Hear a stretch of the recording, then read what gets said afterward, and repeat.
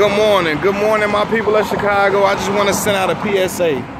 Um, I don't know if y'all up on game or y'all been listening to the news, but recently a lot of black women in our communities have been getting abducted or have been attempted to get abducted, you know, or they've gone missing.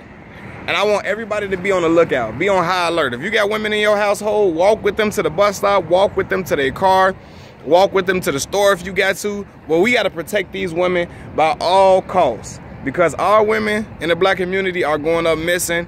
And I don't know, man. The police got to be on their job and stay high alert as well, man, because this is getting out of control. I seen a young lady ended up, a body was found of a, of a woman um, on what, 104th and State or something like that. Then my brother, his friend's daughter has been abducted. So this is getting ridiculous, man. Y'all gotta definitely be on y'all square. I'm telling everybody to please be safe. Women, women, if you got men in your household and they sleep when you leave, please wake them up and have them walk you to the bus stop, walk you to your car. Because I would hate for anything to happen to people that I love. And I'm hating it now, just that stuff is happening to people I don't even know. And it's hurting my heart right now, man. We gotta protect our women, man. We gotta make sure that they safe and sound and protected and they out of harm's way. Because, you know, it's a war it's a war out on them.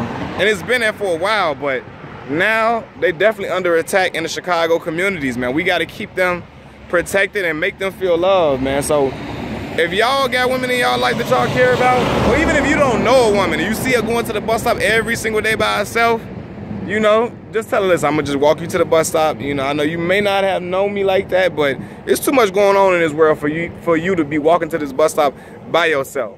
You know, I've been seeing all this stuff on the news, on social media, the word's been getting spread. And I'm looking like, why are all our girls getting abducted?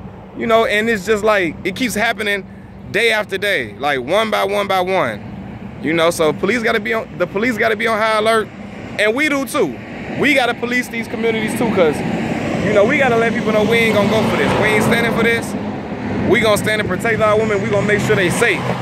So I'm doing the thing with my sisters, my woman, my mama, my cousins, and y'all do the same, man. I just wanted to deliver that PSA so everybody can know what's going on, everybody to stay aware, and you know, just protect your loved ones at all costs.